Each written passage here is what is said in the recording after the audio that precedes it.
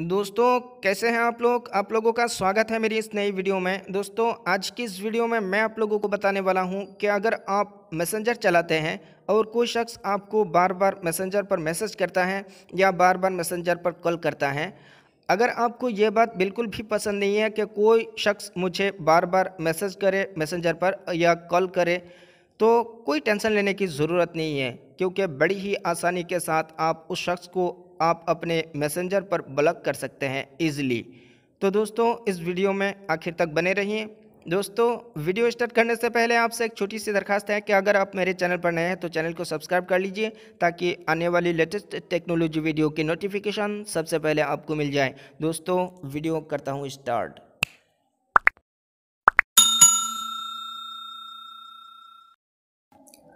तो दोस्तों, अगर आप किसी को मैसेंजर पर ब्लॉक करना चाहते हैं तो इसके लिए सबसे पहले आप अपने मोबाइल पर मैसेंजर एप्लीकेशन को वापन कर लीजिएगा। उसके बाद दोस्तों, यहाँ पर बहुत सारे प्रोफ़ाइल दिखाई दे रहे होंगे। आपके मोबाइल पर भी यहाँ देख पा रहे हैं, बहुत सारे प्रोफ़ाइल हैं।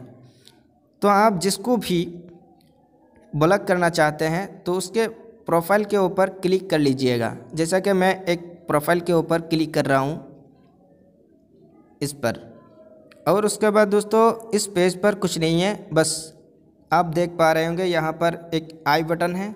इस आई बटन पर क्लिक कर लेना पड़ेगा।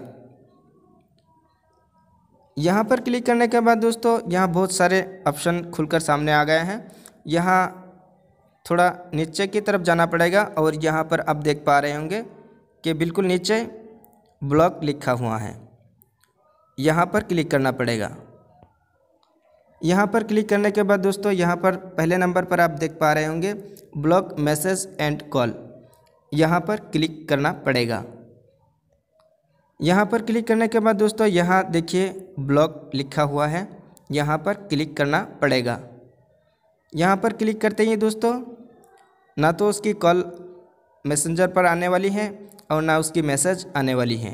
तो दूसरे नंबर पर आप देख सकते हैं ब्लॉक वन फेसबुक अगर आप उस शख्स को फेसबुक पर ब्लॉक करना चाहते हैं तो इस पर क्लिक कर लीजिएगा। इसमें क्लिक करने के बाद दोस्तों, यहाँ ब्लॉक का बटन आया है, यहाँ पर क्लिक कर लीजिएगा। तो अब जो है, दोनों जगह से ब्लॉक हो चुके हैं। ना तो उसकी मैसेज या कॉल जो है मैसेंजर पर आने वाली है, और ना फेसबुक पर आने वाली है। तो दोस्तों, वीडियो कैसी लगी आप कमेंट सेक्शन में जाकर ज़रूर बताइए, और वीडियो देखने के लिए आपका बहुत बहुत शुक्रिया।